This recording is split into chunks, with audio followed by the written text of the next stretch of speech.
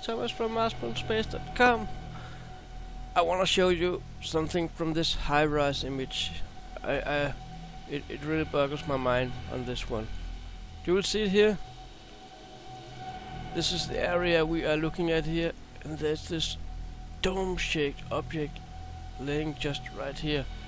And Another uh, object down here with some sort of pipes coming from the area here. We must remember that this one is taken from more than 260 kilometers away. So this is a huge object. It will probably be 150, 200 meters wide from here to here. Let's go a little bit closer. I'm just gonna go to my Photoshop here. We take it here and I go to my full screen here. Here you see it a little bit closer, the area here, and there's something on side of it. Is it what you call a docking area, or what are we looking at here? Let's take it a little closer here. See this round object. Somehow it, it reflects the light here. Uh, and there's this other object here that has some almost 90 degrees angle up here.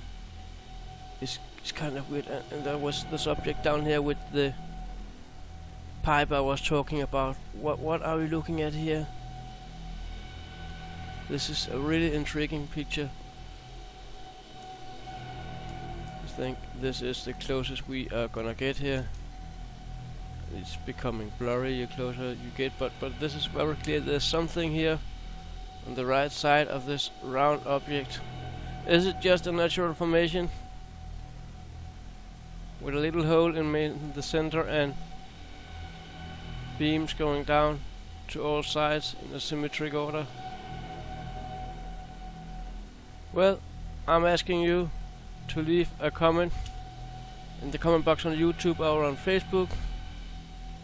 As usual, you decide what you see, I know what I see. Until we see again, take care. Bye.